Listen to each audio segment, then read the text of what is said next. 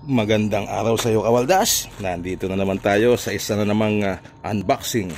Ah, teka. Siguro dapat ang tawag dito unwrapping eh no kasi hindi naman siya nakabox eh. Pero say pagbigyan na natin, unboxing ang uso tawag eh.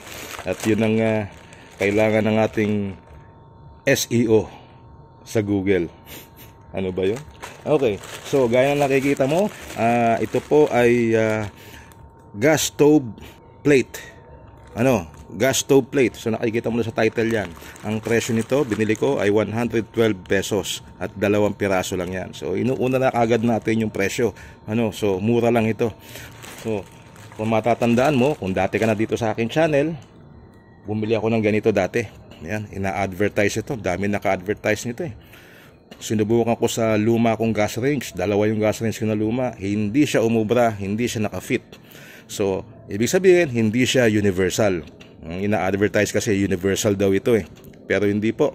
At hindi rin siya aluminum. Kasi ayan oh, may kalawang na oh. Kinakalawang na siya oh. Ayan oh, kalawang na yan oh. So, hindi rin siya aluminum. So, pwedeng pilitin. Gaya nito, pinilit kong gamitin. Ano? Pero, yun nga, pagka luma yung gas range mo, uh, hindi ito applicable. So siguro do sa mga bagong modelo lang, doon lang applicable ito. So ang ginawa ko, umorder ako ng panibago ngayon. Dito. So plate naman ito. Hindi naman to adapter kasi ito parang adapter ito eh. So ito plate ito. So titingnan natin ngayon kung uh, huhulma or uh, papasok, tatama doon sa aking uh, gas range na luma. Buksan na natin ano. Ayan. Tingnan natin. Kasi Ayon doon sa picture eh, iba ang design ito kumpara dito eh. Okay? So, ayan. Binalutan ng katakot-takot na packing tape. Akala mo tatakbo yung uh, produkto. Ayan. Wat-watin na natin. Uy, parang medyo matalim ang gilid nito. Ah. Hmm. Pa dito, kulay itim na siya. So, hindi na siya mangingitim kasi itim na. So, ayan.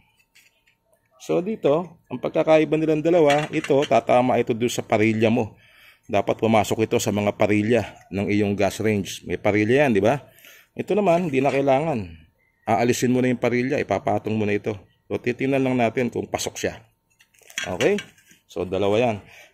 At, uh, yung quality, ah, medyo makapal, oh. Oh, di ba? Medyo makapal, oh. Kumpara mo dito. Oh. Di ba? Ang layo. Parang mas mahal pa yata bili ko dito eh. At ito, 112 pesos. Dalawang piraso na. 112, 112 and 10 centavos. So, 56 pesos ang isa. Okay? So, testingin naman natin ngayon kung papasok. Ano po? Sa maliliit na burner, dito po pwede siguro to eh. Ewan ko lang doon sa malaki. So, tingnan natin ngayon sa aking uh, gas range gas range na antigo. Matanda pa sa mga anak kong binata na. Alright, ito na yung aking gas range na luma. Patong natin ngayon to.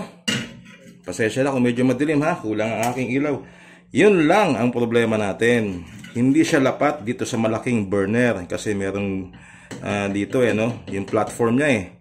So hindi siya lapat. Ayan no. Oh. So papatong mong ganito. Ayan, medyo hindi siya stable.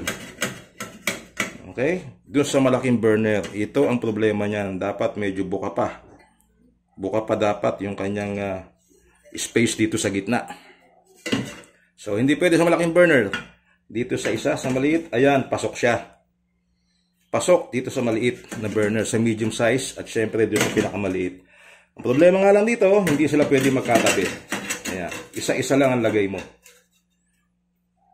Diba?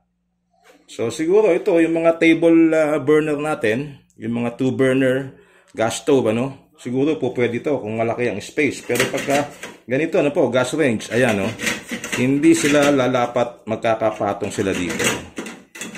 Yan naman ang problema natin diyan. So isa-isa lang ang lagay nito. Yan, dito lang halimbawa. So pasok siya, lapat siya dito kasi maliit lang yung platform nitong burner na to, yung medium size eh. Pero dito sa malaki, ayan, hindi siya ubra. Okay? Pwede pa rin pagtyagaan. Uh, wag lang gagalaw-galawin. Okay? Kasi nakapatong naman sa mga gilid dito. Yan, pwedeng ganyan lang siya siguro. Yan. Okay? At uh, nakaangat naman dito, hindi naman nakasaya dito sa plate. Ito, ganun din. Angat siya. Pero yun nga lang, ilan, pareho niya, no? Hindi mo na pwedeng ilagay yung isa pa. Hindi sila pwedeng magkatabi. Ayan, kasi mabiging, ayan, no? Mabuhay na yung isa. Ayan. Madidis, madidisplace na. Okay? Baka tumapon yung sabaw ng iyong niluluto. so, kung bibili ka nito, at least meron ka ng idea. Pagka gas range na ganito, pa isa-isa lang ang lagay. So siguro do sa mga yun nga, table burner, yung mga two gas two uh, burner gas stove na nabibili na malaki yung espasyo, mahaba siya, malapad. So pwede siguro ito. Pero wala akong ganun eh. Gas range na sa akin. Okay? Pero bago ko makalimutan, ayan pwede siya oh, dalawang ganyan oh. Yan. Tsaka dito. Hindi lang pwede magkatabi talaga. Mag-opposite na ganun. Yan, malayo space oh. Pwede siyang ganyan. Kaya lang, hindi mo na magagamit yung uh, parilya. Ito, itong parilyang ito. Subukan nga natin kung po pwede pa rin yung uh, parilya. Pero hindi siya na ipapatong sa parilya. Eh, oh, kasi dudulas lang siya eh. Wala siyang kagatan ng uh, parilya. Pag nakakabit naman yung parilya, nakagaya nito, no? Ayan, no? Pareho yung sabi ko, wala siyang kagatan. Ipapatong mo lang na ganoon. So, delikado. Delikado. Kailangan talaga itong ilalim na to ay nakalapat doon sa base ng ating gas range. Actually, ito talaga hinahanap ko itong ganito eh. Yan, itong ganitong parilya eh. Kasi wala yung sa akin, no? putol na, matanda na kasi. Luman-luma na kasi talaga siya. Pero wala akong makita nagbebenta. so, sinusubukan natin itong mga plate-plate na ganito. At, yun na nga.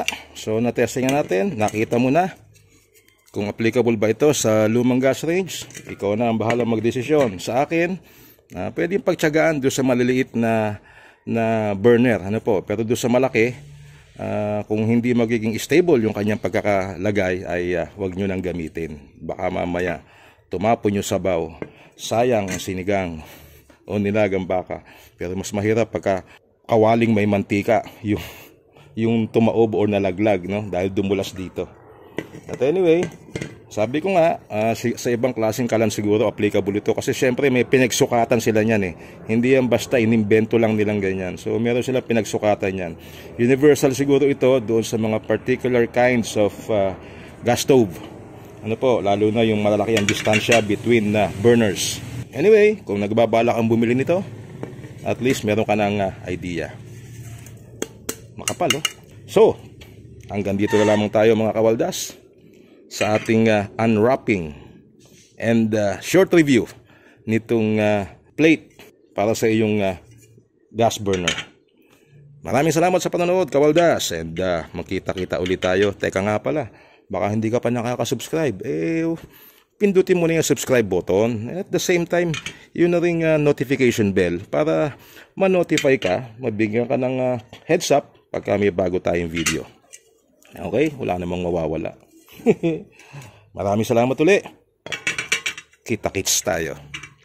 Babu.